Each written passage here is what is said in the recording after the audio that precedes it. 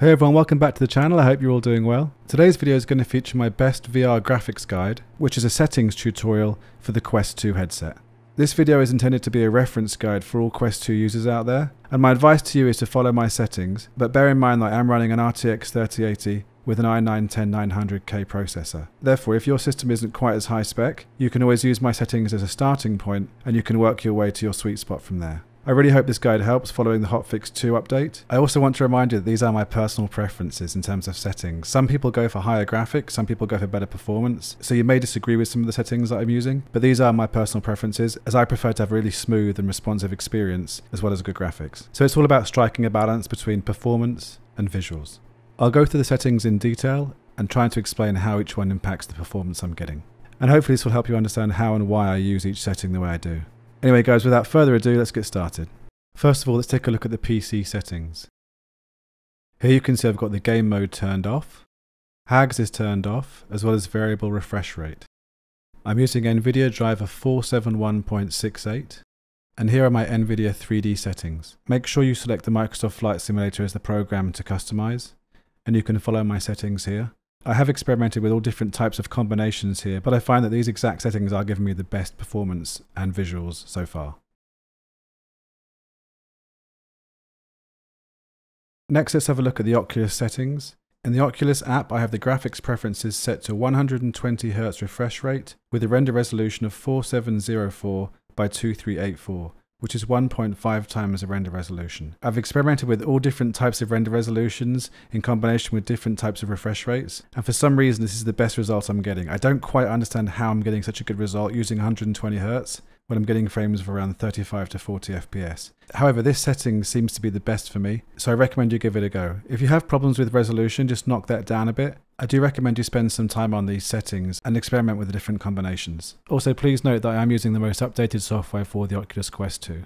I always use the link cable as I find it much more reliable than the virtual desktop and the AirLink, as I find it's the best and most reliable way to connect the headset. Here you can see I'm using the Oculus debug tool. Here I've kept everything as default apart from the asynchronous space warp which I've disabled.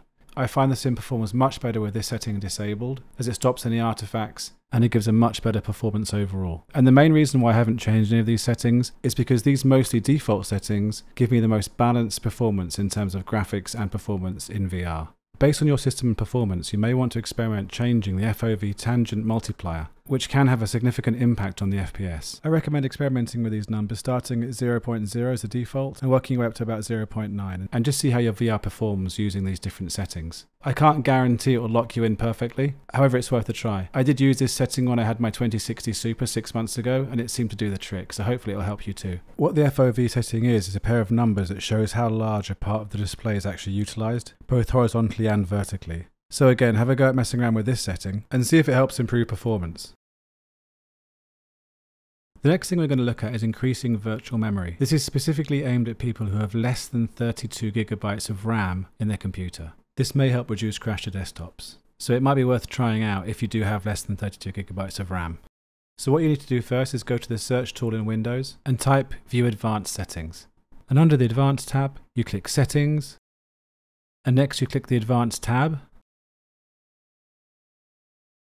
and make sure you click on Background Services under Processor Scheduling. The next thing you need to do is customize your virtual memory use. Here you're going to increase it. First of all, unclick Automatically Manage Paging File Size for all drives, and then go ahead and click on C drive, and then custom size. So depending on how much RAM you have, this is where you type in the equivalent in megabytes. So for 16 gigabytes of RAM, it'll be 16,384. Once you've done that, you click OK and restart your computer and see how it performs. And for whatever reason you want to change it back again, you just go back through the same process and set them back to the defaults. Next, let's look at all those important SimVR settings. Here my main objective is to get a balanced performance in the headset, so everything should be responsive but also look good as well. These are my most reliable VR settings. Notice how I set the render scaling at 90. This gives me a little bit of headroom off 100, and it seems to work the best with my resolution set in the Oculus Quest 2. Anti-aliasing is set to TAA. Terrain level of detail is set to 130. The terrain vector detail is set to ultra. The buildings are set to high. The trees are set to medium. The grass and bushes are set to medium. The object levels of detail are set to 130. Volumetric clouds are set to high. Texture resolution is set to ultra. Anisotropic filtering is set to 16 times. Texture supersampling is set to 8 times 8. Texture synthesis is set to ultra. Water waves are set to high. Shadow maps are set to 1536. Terrain shadows 1024. Contact shadows ultra. Windshield effects high. Ambient occlusion is low. Reflections are high. Light shafts are medium. Bloom is off. And glass cockpit refresh rate is set to high. So these are my exact settings for the most balanced performance I can get from the Quest 2. As mentioned earlier, my preferences really are to get a good performance. You could push these all to ultra and then even the render to 100, but you might be getting slight stutters and micro stutters, especially when you're flying close to the ground. So these are the best settings for me, so please try these and see how you go, and just scale them up and down depending on what kind of performance you're getting. Next up we've got the VR traffic settings. Here I've got my aircraft traffic type set to real-time online. I have the traffic nameplates turned off just because I find them distracting. Airport life is all set at 95 and land and sea traffic is all set at 100. The reason why I have these settings so high is because I feel the world feels much more alive with these settings in action. However, if you've got a slower internet connection, it's definitely worth turning these right down because it does take up extra bandwidth. I have both AI and multiplayer generic planes turned off with ultra traffic variety. In my opinion, these settings just help to make it a little bit more realistic, but are in no way essential. And lastly, we have the VR data settings. Here I have the online functionality turned on, Bing Data World Graphics is on, photogrammetry is on, live real world air traffic is on, live weather is turned on, and multiplayer is turned on. You can see my current data consumption is 4.45 gigs, data tracking reset day set to 1, data limitation is set to off, data bandwidth usage limit is unlimited, and my rolling cache is turned on with a limit of 25 gigabytes. Next up is a demo flight showcasing the performance I'm getting with these VR settings. I won't be displaying the FPS here, but I was consistently getting 35 to 40 frames per second, with a frame time of around 22 milliseconds. I have said this recently quite a few times, but I'm really impressed with the way the Quest 2 performs in this sim now.